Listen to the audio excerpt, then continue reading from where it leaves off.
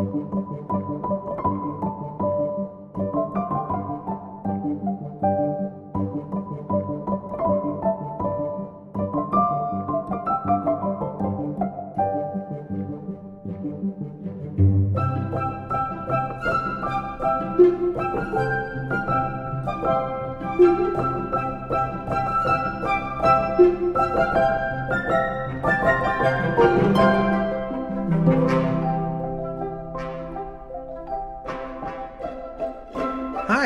F. Paul Driscoll, editor in chief of Opera News, and welcome to the latest episode of Sightlines, our new video interview series. My guest today is Troy Schumacher, who is a dancer and choreographer. He is a soloist with New York City Ballet and is also the director of Ballet Collective and has a very exciting new project with that company, which he's working on now. And he joins us before he has his first rehearsal of the day whatever time you people are watching. It's now nine o'clock in the morning. I don't know about for um, Troy, but it's kind of early for me.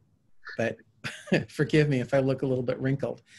So it's Nutcracker season, and most theaters are not showing Nutcracker. Those companies, including New York City Ballet, which have made an annual tradition. However, you've found a way to bring the Nutcracker alive. And talk to me about that at Wethersfield. Right. I, it's so the Nutcracker. It's such an important tradition for New York, for ballet dancers, and for families, and most importantly for our art form. It's a very important um, link between people and ballet. And for example, I just remembered yesterday that I started doing ballet because I was performing in a Nutcracker and how mm-hmm. important this production is and how you know dancers we always joke about how sick of it we are or we hate it but we all deep down really love this production and we love the score and we love the communal aspect of being a part of the nutcracker so all of that being said as the season started changing you know i was getting a little um, uh, distraught about what was going to occur for people when socially distanced walks weren't really possible anymore and the opera was still closed and the ballet was still closed and Broadway still closed. And how can as a small organization us try to find ways to get people back to work and also try to provide you know whatever we can within you know regulations to create something new and special that maybe would be amazing any year, but really only possible because of all of the horrible things that we are all going through right now in the world. Mm-hmm. So, where are you performing? Where are you going to do this event? So we, I was brought to this historic estate up in the Hudson Valley in mid-September, and my wife and I, we were still up here because with Ballet Collective, we actually created and performed the first full ballet live since the start of the pandemic up in Pine Plains, which is about a 15 minute drive from um, Millbrook.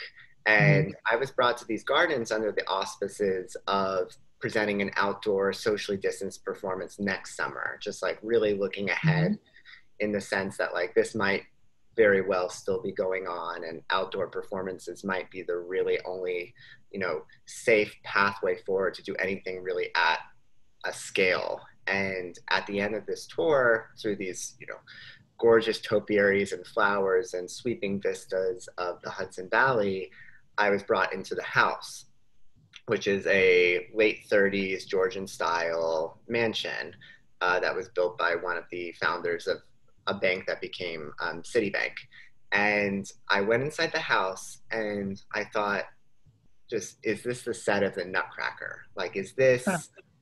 like how is this something that could be done? Like, what what are the challenges of creating a Nutcracker? And I think you've seen some of my work. You know, that's not generally okay. the direction that I go for anything. No. Uh, but I was thinking about how do we like this is a way this is a catalyst to both maybe do a really interesting um, you know exploration of how the Nutcracker could be presented, and also most importantly, get a large group of people back to work right now and not just get them compensation, but give them a purpose and give them an outlet. When especially ballet dancers have been giving themselves ballet class in their kitchens for 10 months right now. It's bleak. I mean, it's really hard. It's not, it's not a satisfying way to go. Um, the way that I think a lot of other art forms have been able to, you know, you can really still keep your craft up and still, you know, if you're a musician, the way that you know, the opera and classical music and jazz organizations have been able to really work via Zoom. Dancers, especially ballet, it's like we need 1,200 square feet.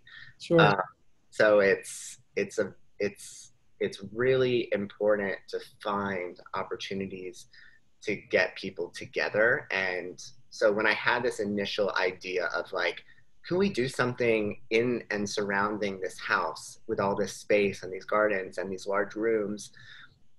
I just, I just not, I, you know, I just whispered a little inkling of it to the trustee who was taking me through the, the house at the moment. And then I told my wife, we talked about it. And that night I just woke up at 2 a.m. and I was just like, all right, how do I solve this problem? How do I solve this problem? Both like from a narrative, from a safety perspective, and just to see if all of this could even be really viable. So your dancers are all City Ballet members? It's so it's 22 mem- of my current colleagues from New York City Ballet. Uh, mm One of the dancers is uh, married to a former ABT dancer who mm has now pivoted into acting, who is playing our Drosselmeyer. Oh, how nice! And, yeah, and also uh, Jared Angle, um, who is the principal at New York City Ballet. He's uh, our company manager right now. so, uh, you know, finding different ways for people to uh, participate in this, but we're also engaging uh, some of my colleagues from New York City Ballet in stage management and lighting and wardrobe and elements like that. So we're really, um, not to mention all of the local tech people in the Hudson Valley that we're bringing, you know, opportunities to work again to as well. So this event, the Nutcracker event, you're you're changing it a little bit. I believe that you've made some cuts in the national dances, and you're not going to have children the way most performances. Um, correct. Yeah. So, in trying to create something new um, out of this, which is, I think, such a daunting task, especially when you've been performing one version of this. I mean, thankfully, it's not the only version that I've participated mm-hmm. in, but but it's pretty deep in there. And yeah. right now, I think in some ways, it's a really hard um, concept to reinvent to try to put your own very unique spin on. Um, but right now, I don't think that that's what anybody's really wanting. I think that what people want right now, you know, people want artists to go out there and digest everything that's happened in their lives and the world at large. And that's a really important thing that I think artists are being deprived of right now. But I also hmm. think people just want like some semblance of normalcy, some sort of magic looking back into the past and really like cl- classical art forms that have not been able to that rely upon this infrastructure are really what I think would be incredibly satisfying right now. Like we've all seen, you know, plenty of solos and duos and sneakers yeah. outdoors right now. And how do we bring back a real, a really strong classical tradition using kind of like a roving infrastructure space? And so thinking about the Nutcracker from like a directorial standpoint and what the story is, um, which most of the story happens in the first act, which is the party scene. Um, mm-hmm. And it's really a, a, domestic story. It's a story about a father, a mother, a daughter, a son, and an uncle. Mm-hmm. That's really where all the story comes from. Everybody else on stage is uh, just ambiance, right? And filling the music up and adding to, you know, a larger picture in an opera house environment. So initially I was just like, oh, so if people just walked in and found themselves as guests in the party scene, all the action could proceed from there. Mm-hmm. while at the same time coming up with a very, very specific socially distanced travel plan for people. Because when you look at the science behind um, COVID transmission, right, it's mm-hmm. about um, aerosolization, uh, time of exposure, and um, distance, right? So those are the three main thing, and masks, obviously, yeah. um, that need to be um, worn. So um, what we created is this a way that we can move people around the space that they're never coming into contact. So the idea that I had and that we've been working with doctors about is having these pods within the event. So a family or a group that are a member of the same pod, which would arrive, the doors of the house would open, and they'd be like, "Oh, uh, this is this is a party for for us that we're at."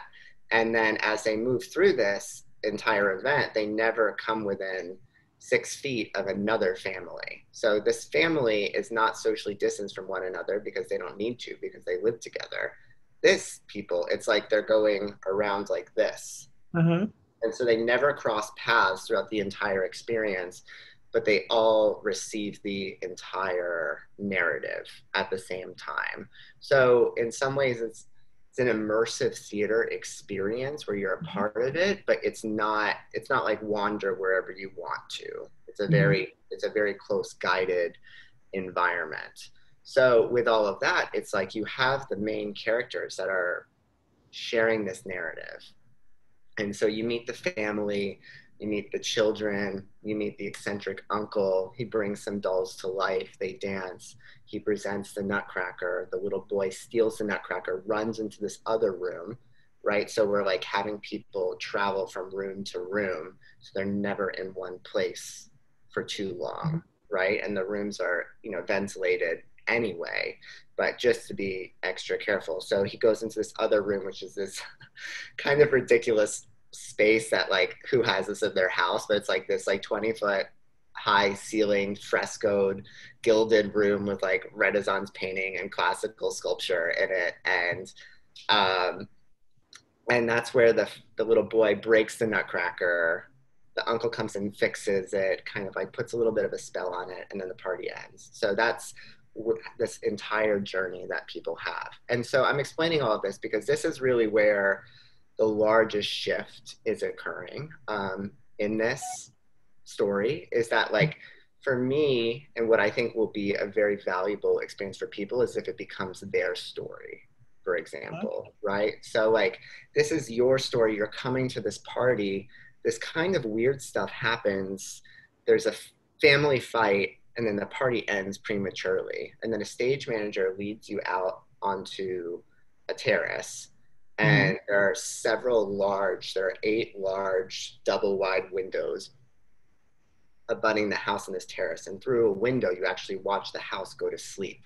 And then you watch the little girl sneak around the house looking for the nutcracker. She finds it. She curls up on a couch.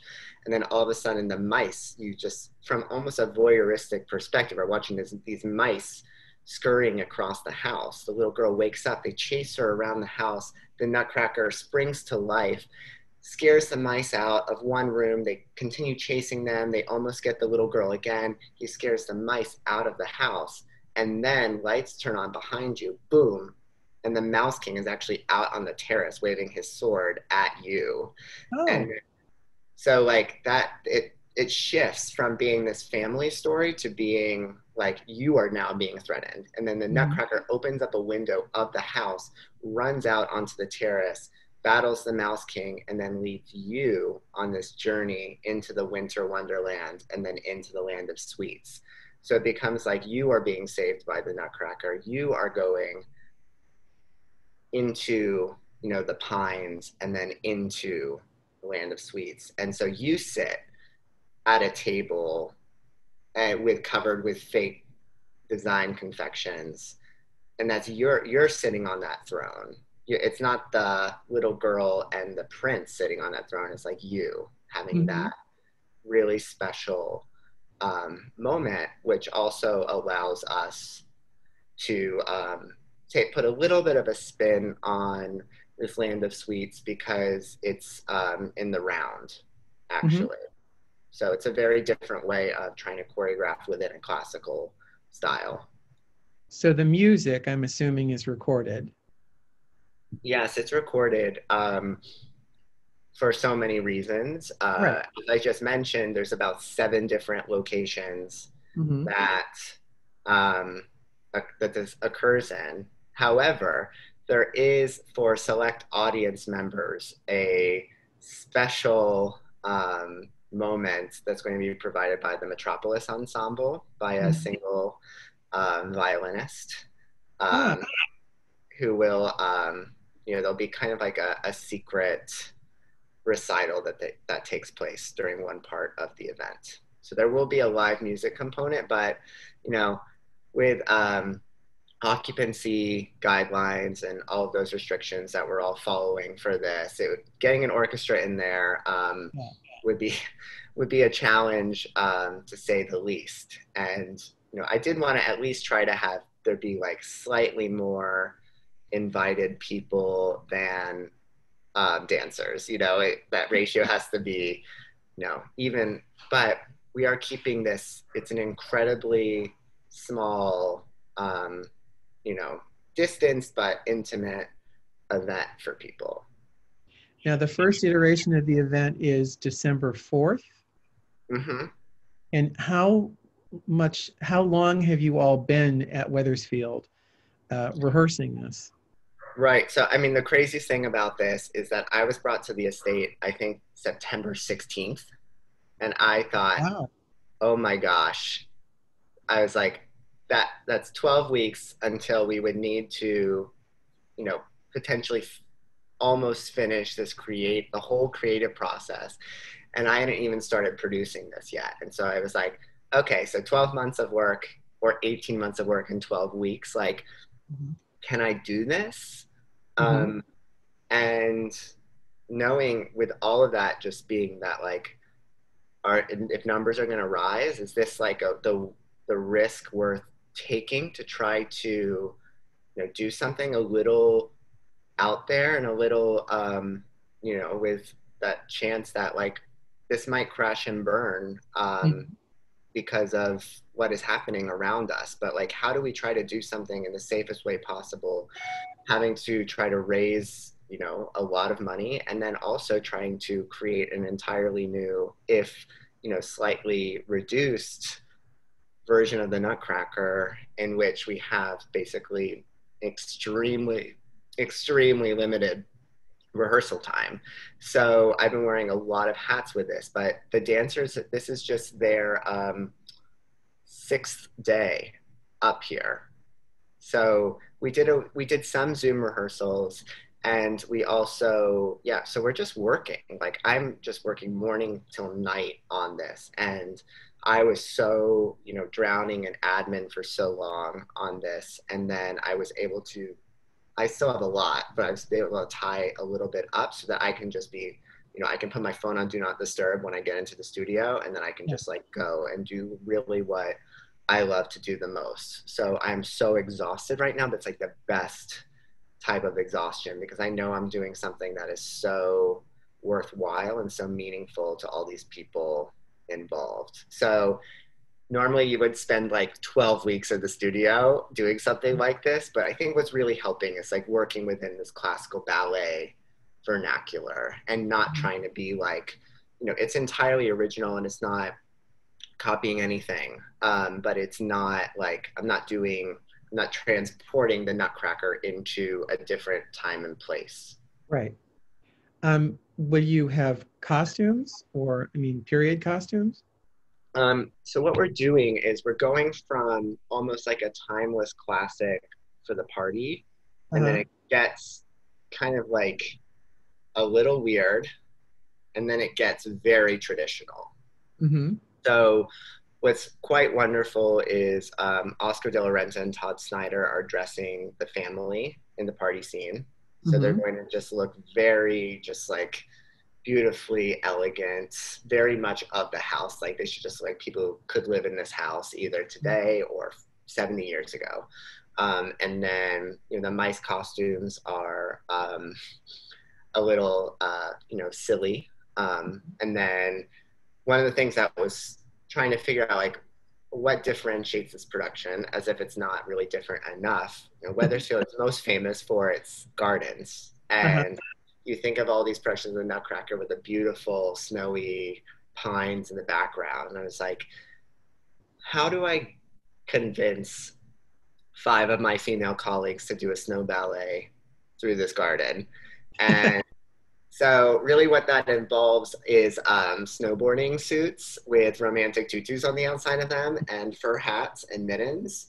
Um, and and basically like little snow boots. So this that's the biggest kind of departure that we're we're doing in this whole production is this whole like um, how do you do an outdoor snow ballet for the snow scene before we really pivot into like classical ballet tutus i mean snow ballet has a tutu but like something that in the land of sweets it's very much like you know tutus and dresses and point shoes and all of that but just to do something that's a little um, just special and fabulous and you know obviously very weather dependent but also there's only um, we can only invite eight families each time we do this event. So if something occurs, that's much much easier um, challenge than trying to reschedule a 2,000 person right. proscenium theater event.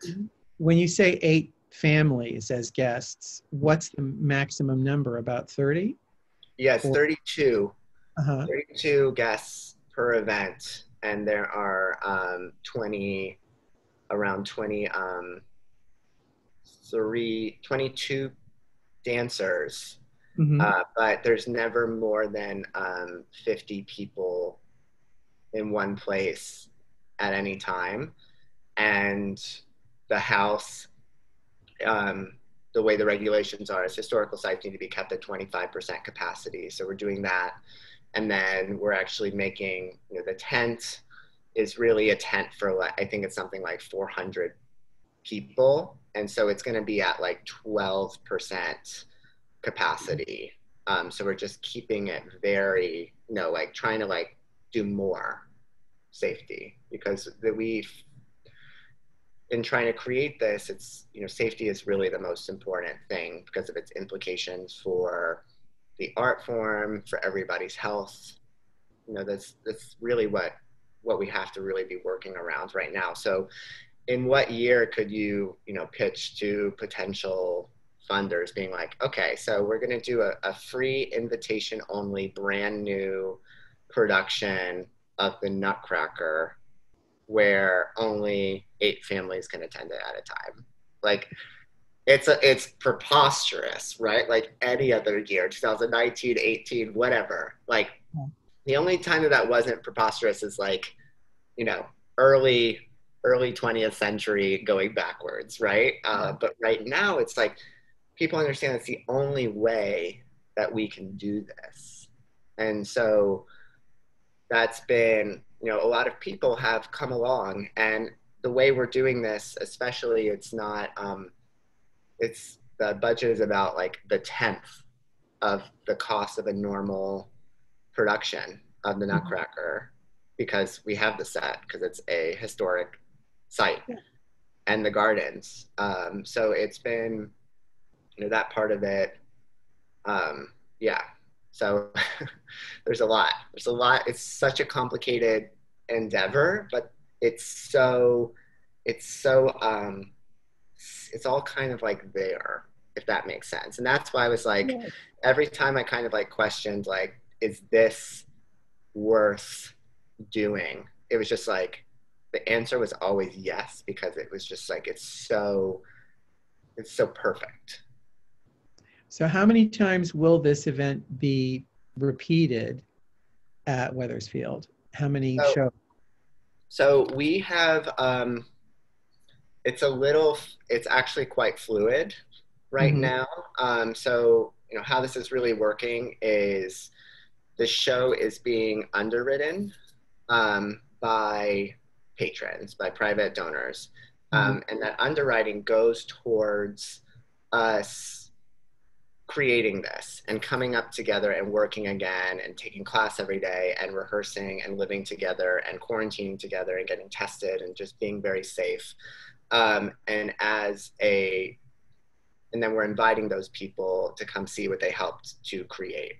Mm-hmm. And then on top of that, we are donating um, approximately uh, 30 to 40 percent of the events to local nonprofits that serve uh, families and children uh, very hard hit by the pandemic and who are maybe having a hard time before you know mm-hmm. this this year happened so it's really only you know it's really serving two main groups of people right now the people who normally make the art happen because um, mm-hmm. we all know ticket sales do not cover classical art forms costs by any means in any time. Um, and then the people who potentially really need it the most.